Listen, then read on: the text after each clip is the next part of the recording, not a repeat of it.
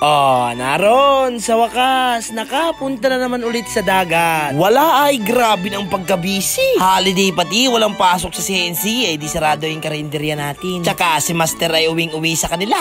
Lagi na la ang busango. Ay hala, sige ka ako. Umuwi tayo at total ay day off ko naman. Kinagabihan nakapasyal pa kami ni Boy Loco sa isang kainan. Ay paano, masama kayo mga ma'am sir? Alright. A day in my life as a poging tatay. Alright. Magang maga ang parcel ni Master. Matindi. Mabuti na lang ang akin kuya. Inaabutan mo kami. Patakas na sana kami. Let's do! Ah, ay day off ko po ngayon, lunes. Ay si Master ay napapauwi naman daw sa kanila dun sa barangay Dangkalan. Ah, shoutout sa tropang JCT. Ay di umuwi kami sa barangay Dangkalan. Napadaan naman kami dito sa barangay Kabusay para makabili naman ng pangulam. Ano daw kaya anaki ng masarap? Turingan opposite. Parang gusto ko magpusit at bira lang ang pusit. Ah, naron, isang kilong tulingan ang gusto ni Master. Wala tayong nagawa. Pinagbigyan ko na at didingkilan po yung maigi si Master. Bigla-bigla lalaang niya naiyak.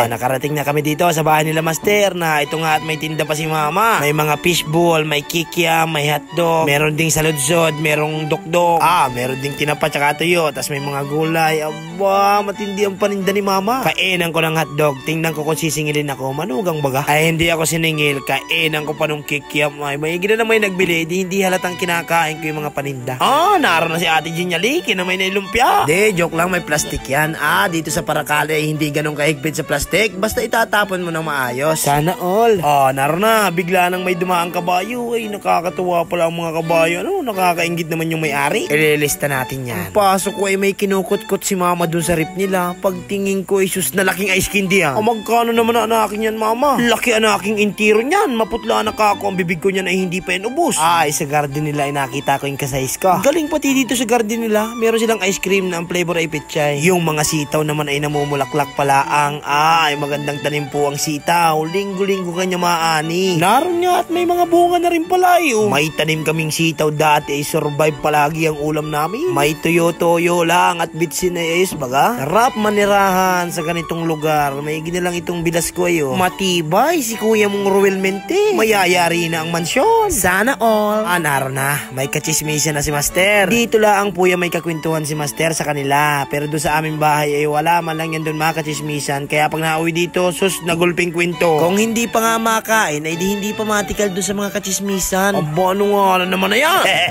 ay, ano pa naman mga ma'am sir, kumain na po tayo. Maraming maraming salamat po Lord sa lahat ng blessing at pag-iingat mo sa aking mga mahal sa buhay. Ay, shoutout po sa aking mga followers. Kay Tata Reynaldo Pablo, watching from Batangas daw. Kay Kuya mong Arjun Awa. Kay Sir Andrew Atienza. Naroon pa, sumandok pa, pamaulo na naman. Kay Kuya Charles Hindigan San Agustin. Mag-iingat po kayo always and forever mo. Maya, maya ay may nasagap kaming balita. Si Governor Egay Talyado daw ay mabisita dito sa Barangay Dangkalan. Labo-labo kaming punta doon sa Barangay Hulay. Aba, ay idol namin yan. Sino bugang hindi mabilib dyan kay Governor Egay Talyado? Walang iba, higit sa salita, gawa. Yan ang sinasabing mabalasik. Oh, naroon po yung palagi sa ating nagbibigay ng tulong, si Engineer Junjun Inoba. Ay, napakabait po niyan. Kasama si Bukal Mike Dolera at saka yung pinaka-idol ko sa lahat, si Bong Kibral. Since elementary, oh, na ito pa yung mga idol. Ah, naroon, dumating na rin si Vice Governor Bihog Serdon. Magaling na tao din po yan. Kaya lang, hindi ko na naabutan si Gob Egay. Nagising na daw si Baby Sab. Kami daw ay maligo na sa dagat nila, Master. Baka daw matulog ulit. Ah, ay tapos anakin. Pero mabot trip muna anakin ako dito, pampatagal oras. At baka nga dumating na si Gob Egay. Masilayan natin kahit kaunting minuto. Kaya lang ay kailangan na talagang umuwi. Si Caleb naman ay may nakitang kalabasan na nahulog dun sa kalsada. Kalayo-layo ay kinuha. Aba, ano nga lang bata anakin ito? Mabalasik na rin kung dumali. Pag hindi mo lang anakin kinain yan, sabay kain ko nitong American banana. Gulipin ito dito, nabuburulok na nga lang yung iba. Hindi pa rin ako sinisingil ni mama doon sa mga kinain ko kanina. Dagdagan ko pa ng dalawang hotdog ay tigay sa kami ni Caleb ay bahala ka nakin dyan ma. Sabay tulas namin, diretso naman doon sa barangay Bakal lang makaligo naman anakin sa dagat. Let's!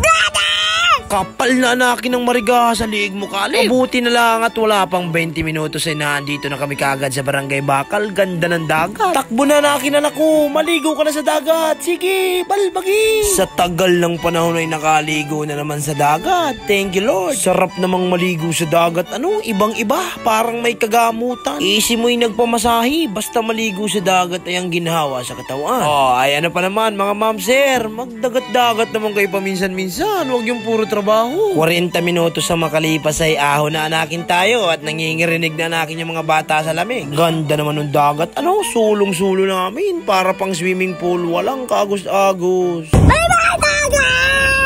Tuwa naman ang intiro yung mga bata, lalo na si Master. Sabay banlaw naman dito kay Borgie. Banlaw din siyempre sa mga bata. Pangit nga daw matuyuan ng tubig alat ang mga motor o kaya may mga bakal at madaling kalawangin, masisira agad. Hindi pa marunong kumain ng ice cream itong si Caleb. Oh, shoutout po dito kay nanay, pangirit-ngirit sa atin, nakilala pala tayo. Sabay uwi namin, nakasalubong naman namin yung dalawang kabayo. Ay, pagkaganda talaga ng kabayo, nakakaingit. Sana magagayan ako pagdating ng panahon. Pagka uwi namin ay tuwang-tuwa si mama, binigyan daw siya ng kalso ni Bihog Sir doon. Enalbor naman ni Master. Aba ano yun? May nagtitinda ng merba. Nagbili si Master. Eh, si Moy naglilihi na naman. Si Caleb naman daw ay mga basketball naman daw. Pero may pito. Maripiri pala. Banlaw namin. Sabay hawak ko naman dito kay Baby Sabat. Si Master naman daw ang mabanlaw. Sus, natagal baga magbanlaw nung tao na yun. Nakapag motor-motor na kami. Nakapag merienda na kami. Nakapag kape na. Oh, naroon. Natatapos pala ang magbihis. Sarap bat adan ano?